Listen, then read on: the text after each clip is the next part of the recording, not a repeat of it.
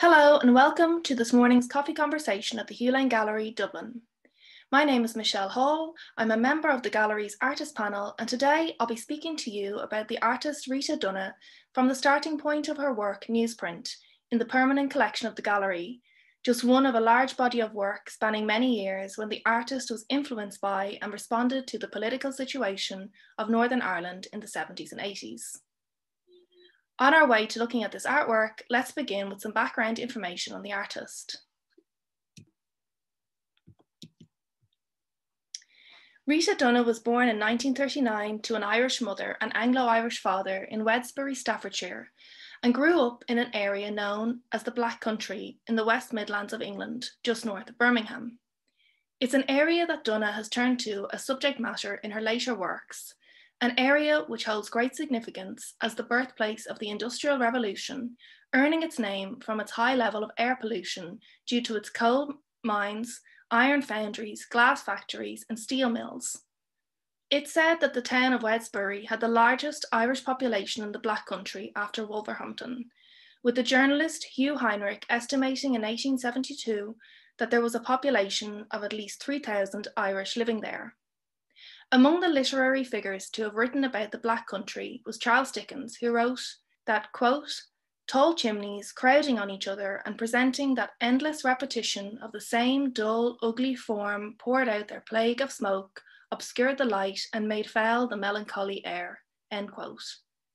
Writer Francis Brett Young adds, quote, to the north, the black country smouldered beneath its perpetual smoke pall, end quote.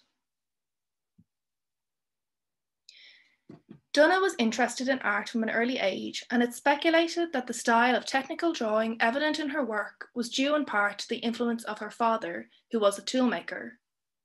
Her first art education experience took place in her late teens when she studied life drawing at the Bilston College of Further Education, not far from her hometown. From there, she went on to study fine art from 1956 to 1962 at the University of Durham in Newcastle in the northeast of England, where she began to formulate a drawing style that embodied a tension between figurative representation and the abstract.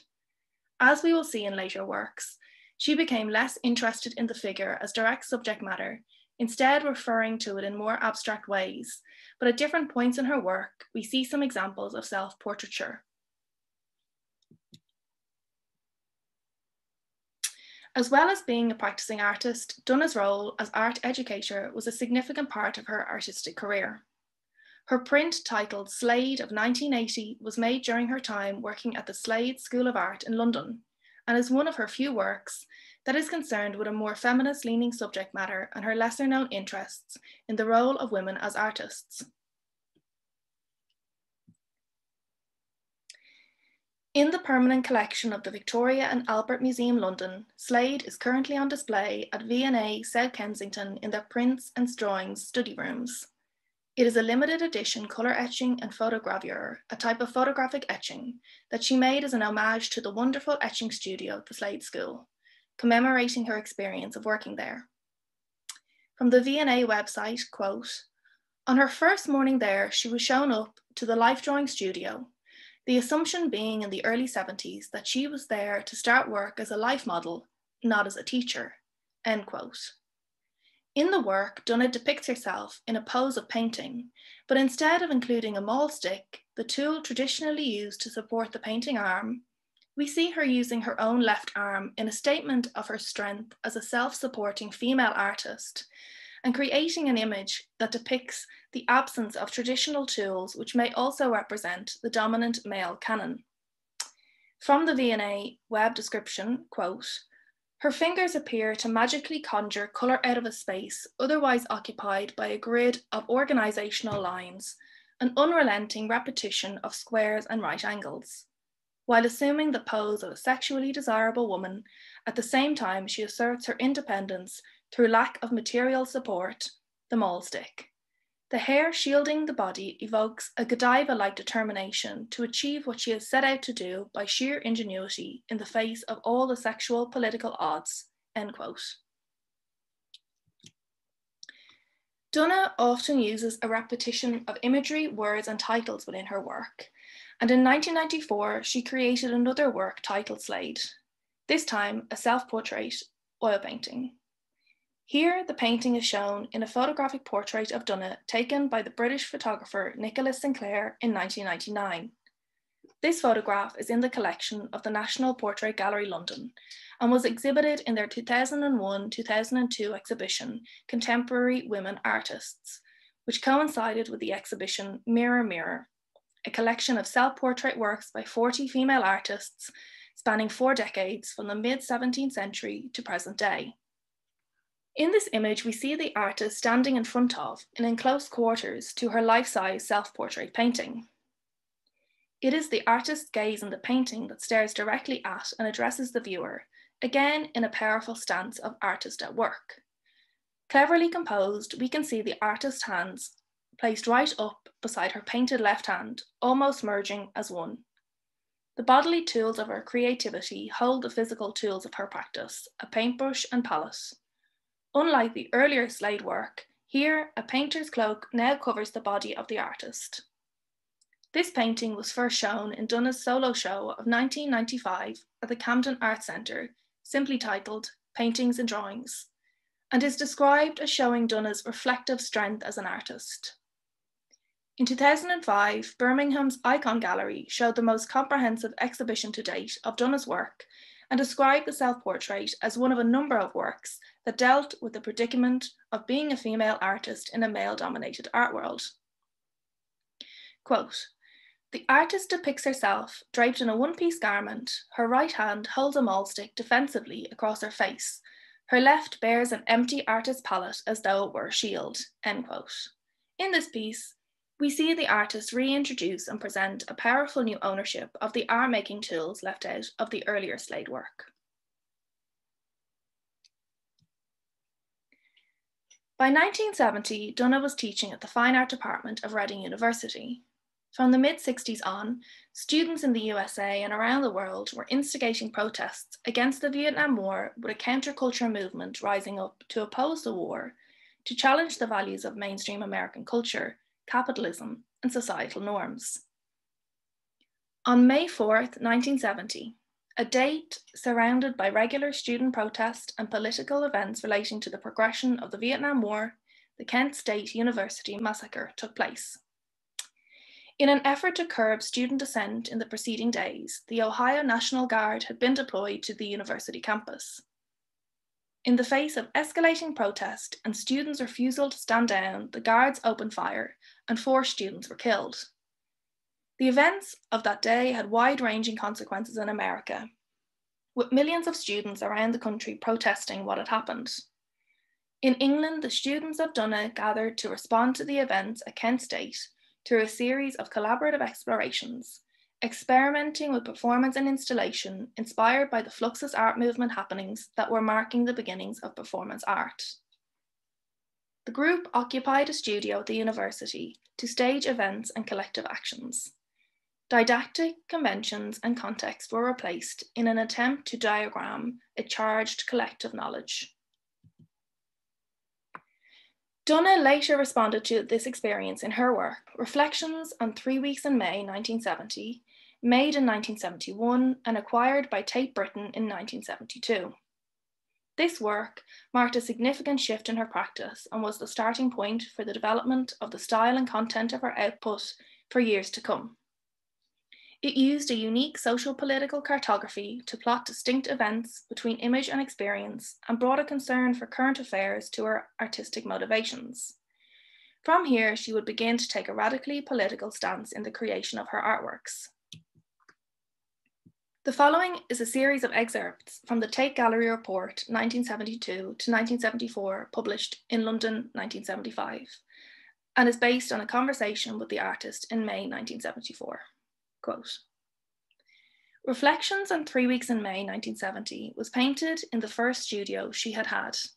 She recalled the sense of liberation she felt at that time, knowing that she had somewhere to work and something to say. Before the 1972 John Moores exhibition, where this picture won a prize and led to her first solo show at Nigel Greenwood's gallery, she had worked in complete isolation. Painting was an internal thing, entirely private. She considered herself a teacher rather than an artist.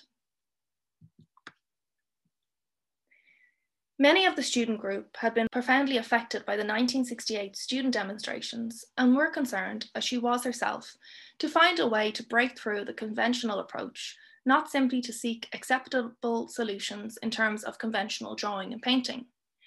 On the first day in the studio, it was painted white throughout, including the floor. A student devised a grid as a means of regulating movement within the space. Crosses were put on the grid to mark squares where movement was prohibited. The studio became a stage, action, performance being a natural expression of group activity. The events of those three weeks proved very important for her work, and looking back, she found she could focus on them very clearly.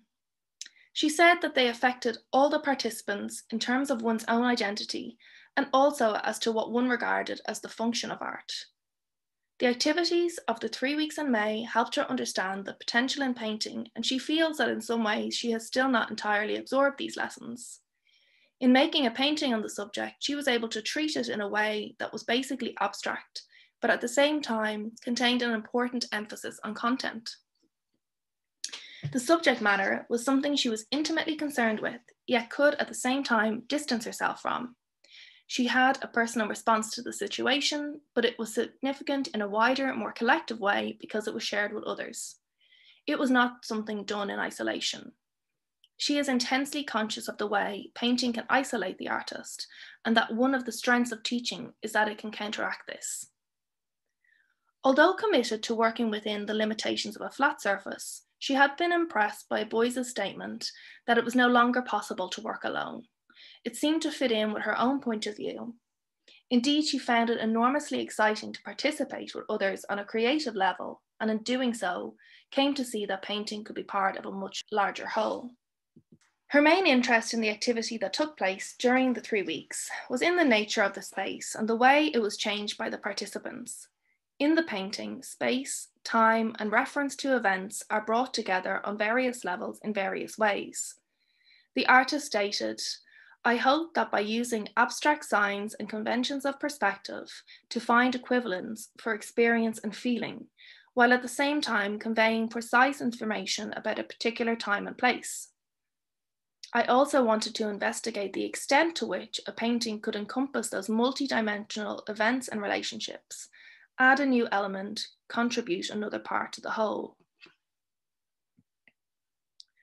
The central rectangle of the picture represents the plan of the studio and is covered by a grid of squares which corresponds to the actual grid drawn on the floor.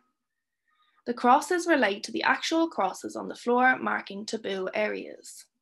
The system was that a cross was marked every sixth square. However, in one case, the student doing the crosses made a mistake. And here on the right hand of the picture, the square contains a dotted cross to represent a square called into question. The pinkish shape represents a blood stain, a symbol with multiple references. It refers to the killing of four students at Kent State, and also when one of the most politically concerned students worked with blood for a performance piece before an audience which involved entrails all over the floor.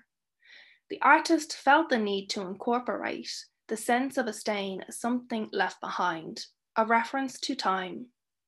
In terms of the way it is painted, the bloodstain is the only thing in the room which is visually on the level of reality. It is pink, it looks like blood, it's the only point where the inner and outer worlds meet.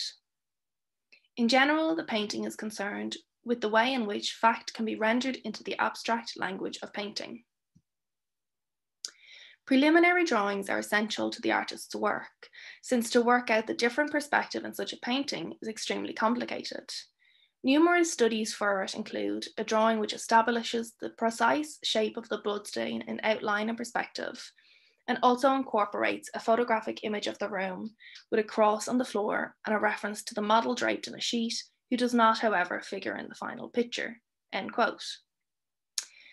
More recently, one of these preliminary sketches, Drawing for Reflection on Three Weeks in May 1970, Bloodstains, was auctioned in 2016 with a guiding estimate of four to £6,000 and ended up fetching a total of £30,000.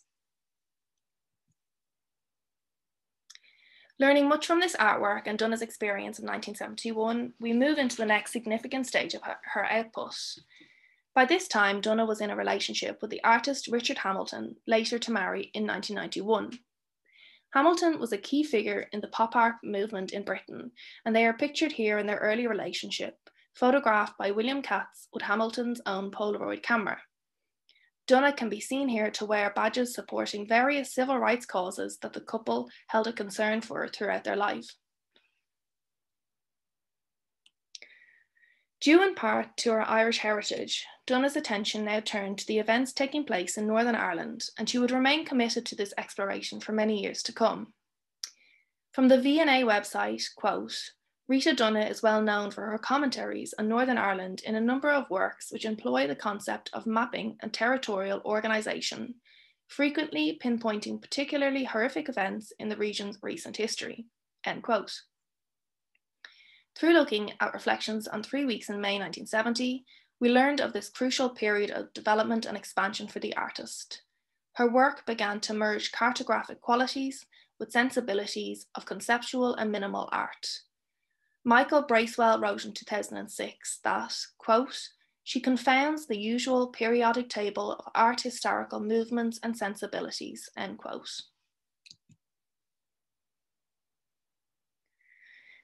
As we move into these works responding to the conditions of Northern Ireland, we see the introduction of collage and the use of print media, both formally and in a channeling of the conceptual qualities of these mediums.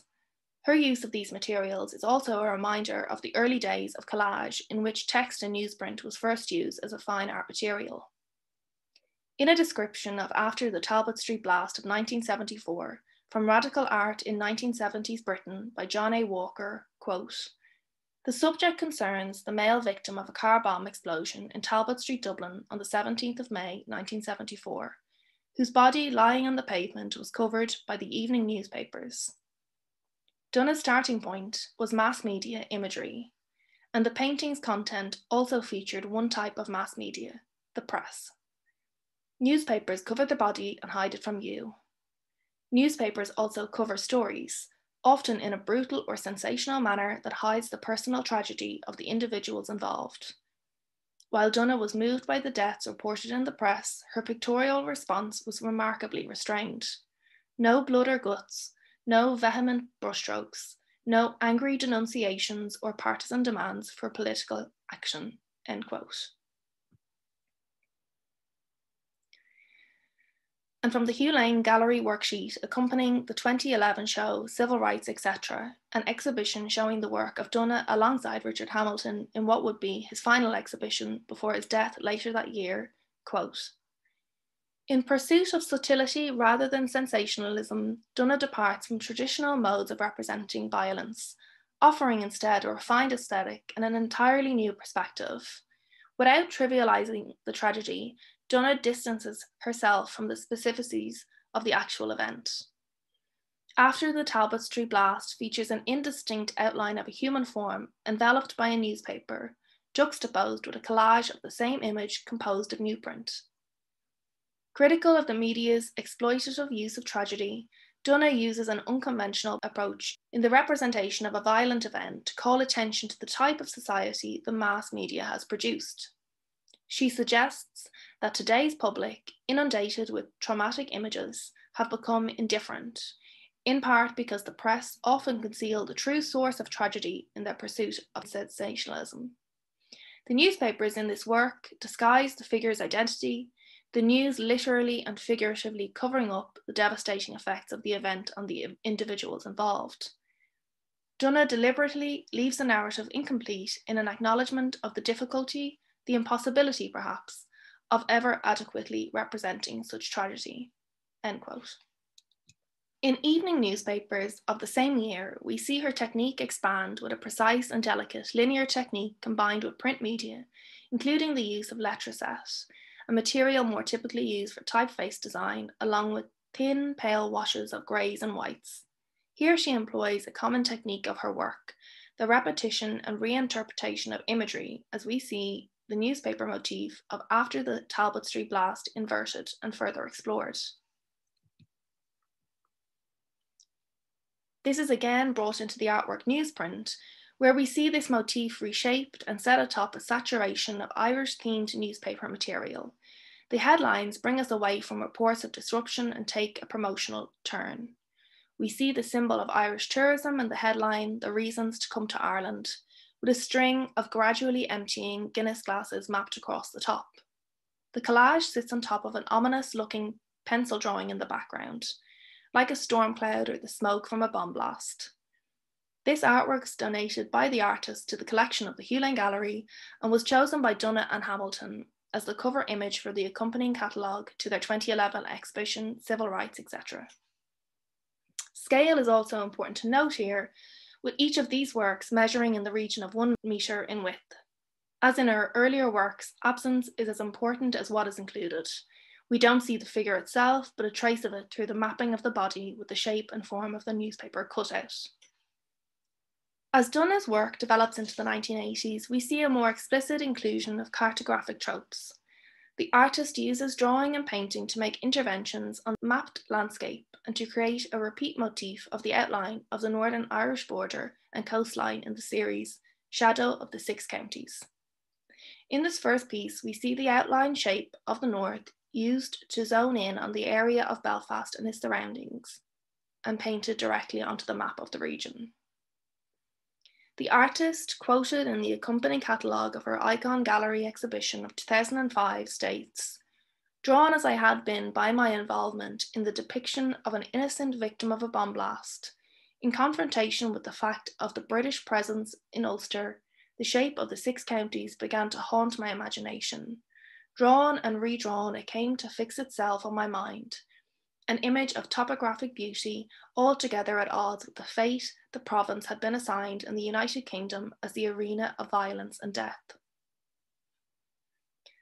The shadow referred to in the title of the works in this series alludes to the impact of the violent struggles over the geopolitical status of Northern Ireland that began in the late 60s and is widely considered to have concluded in the late 90s.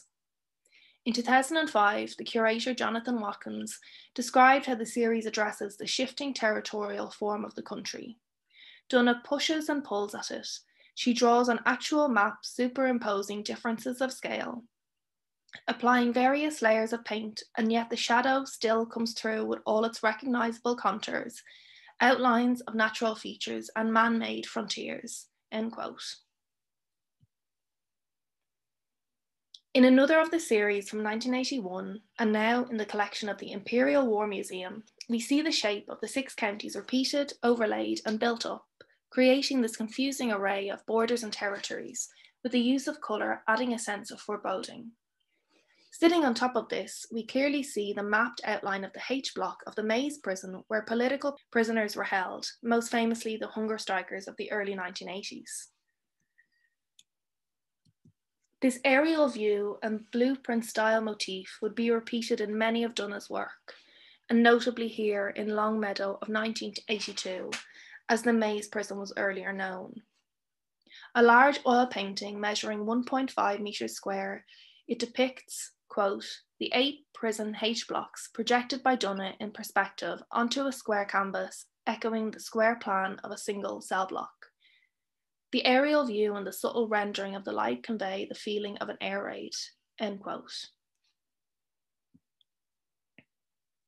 In exploring the contested geography of Northern Ireland, Sarat Maharaj argued Donagh's work as a kind of ethical cartography, quote, she draws us into examining the pros and cons of representation, of mulling over the choices and dilemmas involved in mapping the world, a search for new perspectives on Ireland beyond worn out, fixed ways of understanding it. Her emphasis falls on the search for critical awareness on how meanings are made, rubbed out, and revised. End quote. Rita Donagh is now 81 years old and her work continues to be exhibited regularly.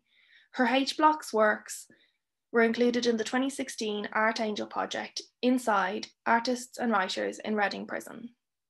Another work is included in the current exhibition Democracies at Tate Liverpool, and in 2020, her work was shown at the exhibition 60 Years at Tate Britain, celebrating the work of female artists since 1960.